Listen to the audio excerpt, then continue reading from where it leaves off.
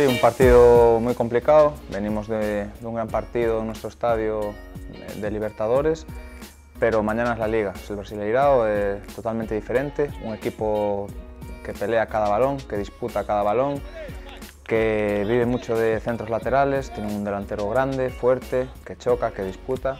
Bueno, tenemos que estar muy, muy atentos y muy metidos. Ya Libertadores ya acabó, lo importante es mañana. Sabemos que la Libertadores es un plus, es otra dimensión, pero la realidad es que en el Brasileirão estamos haciendo las cosas bien, llevamos nueve partidos que no, que no conocemos la victoria y hay que cambiar el chip. Eh, no hay tiempo, pero hay que hacerlo ya. Entonces, bueno, hemos disfrutado de la noche de Libertadores, pero ya el día siguiente ya hemos empezado a trabajar, el grupo trabajó bien estos tres días y mañana vamos con, con mucha hambre, con mucha ambición e ilusión de poder revertir esta situación de la Liga.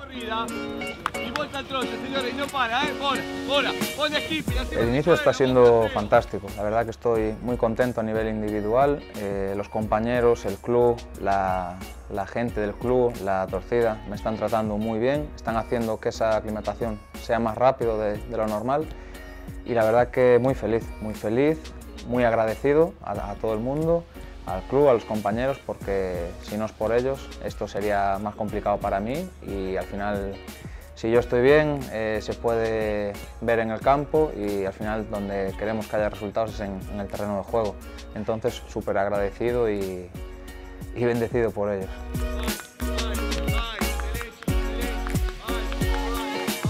Bueno, soy más lateral que central, pero sí que es cierto que conozco y domino las, dos posiciones.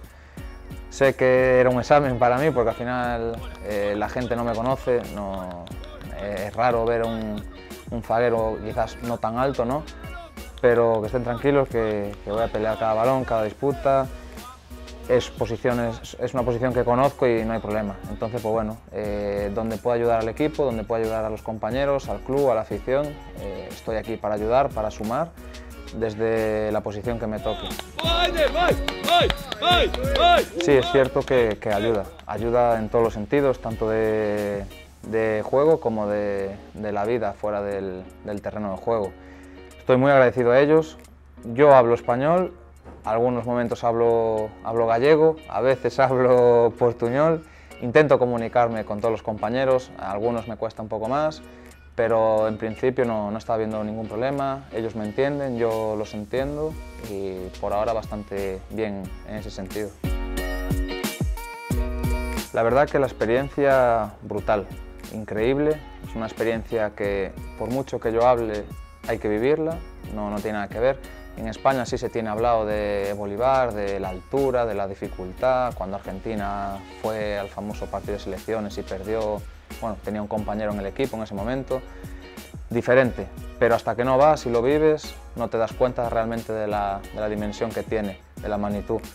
Y luego, ¿qué voy a decir? Eh, en nuestro estadio fue fantástico, fue fabuloso, ya desde esa semana, una vez acabó el partido Flamengo, ya se respiraba por la calle, eh, Libertadores, que es otra, otra dimensión, es otra, otra historia.